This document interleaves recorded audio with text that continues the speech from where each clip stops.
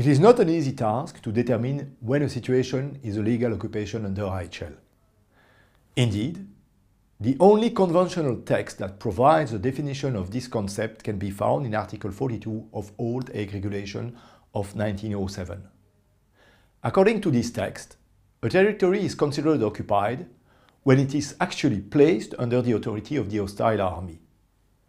This text also adds that the occupation extends only to the territory where such authority has been established and can be exercised.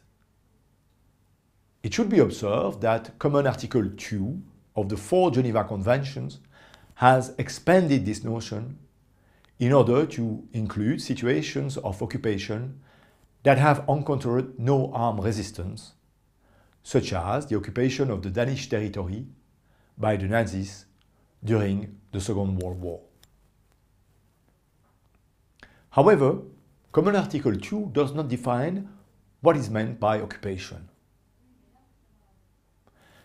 The international ad hoc tribunals, the International Court of Justice, and many military manuals accept that the definition provided by Article 42 of the Hague Regulations applies in the context of the Geneva Convention 4. In other words, the scope of application of occupation is entirely predicated on the condition that can be inferred from the Hague regulations, namely, whether a given territory is placed under the authority of the occupying power. To make this assessment, scholars and judges usually look at whether such a territory is placed under the effective control of the foreign armed forces. However, the question of effective control has raised several controversies.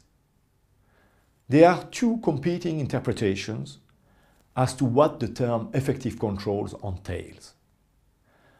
On the one hand, according to the ICRC commentaries to the Geneva Conventions of 1958, and to certain decisions rendered by the ICTY, in particular in the Naletilić case, to which we will refer later, certain provisions of the law of occupations as set out in Geneva Convention 4 should apply whenever a party to a conflict exercises minimum level of authority or control within foreign territory, including, therefore, during the invasion phase.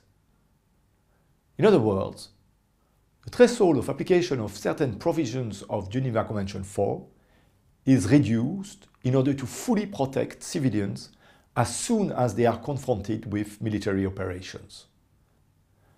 On the other hand, according to a more restrictive approach that can be found in certain military manuals, the situation of occupation only exists once a party to the conflict is in position to exercise sufficient authority over enemy territory in order to enable it to discharge all the duties imposed by the law of occupation. In any event, it is usually admitted that the law of occupation will be triggered before occupying forces exert full control over a foreign territory, but when they exercise a lesser level of authority. As emphasized by Professor Yoram Dinstein, effective control is a condition sine qua non of belligerent occupation.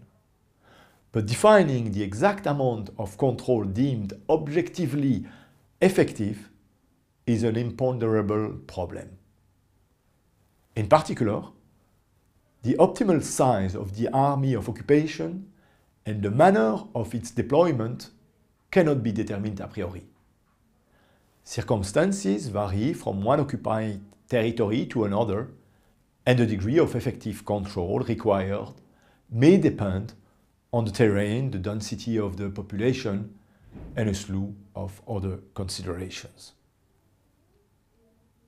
Should be observed in this regard that in the Naletilić case, the ICTY has proposed few guidelines for determining whether a given situation amounts to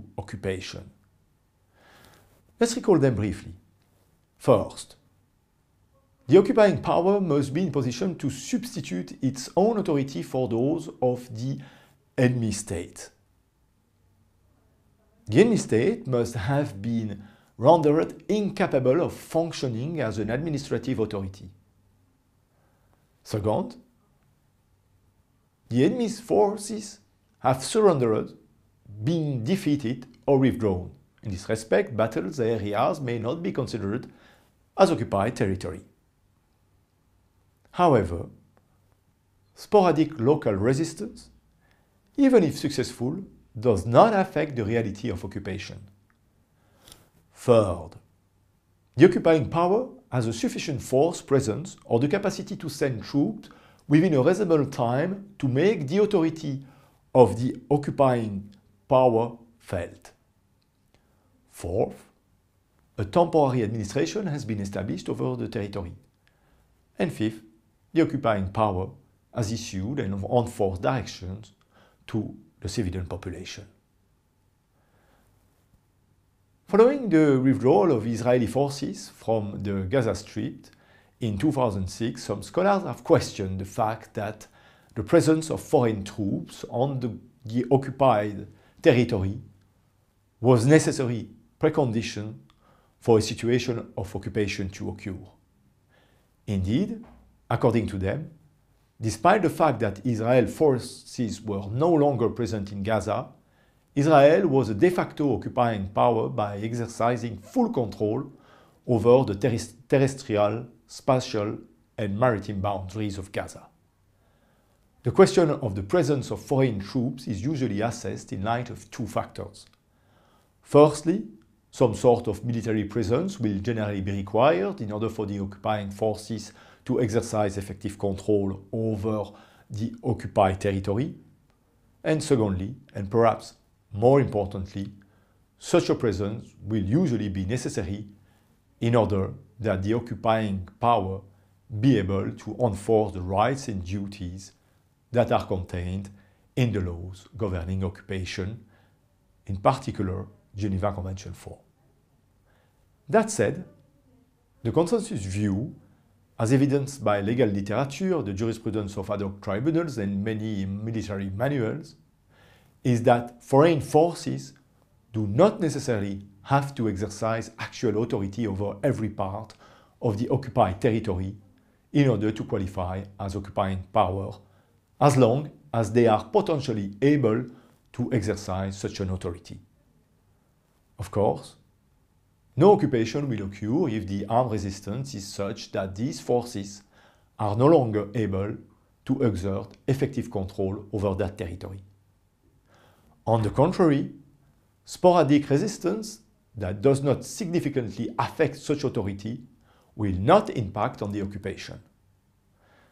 As pointed out by Tristan Ferraro, legal advisor at the ICRC, it should finally be observed that the existence of an occupation implies that foreign forces are imposing their authority over the government of the occupied territory by coercive military means.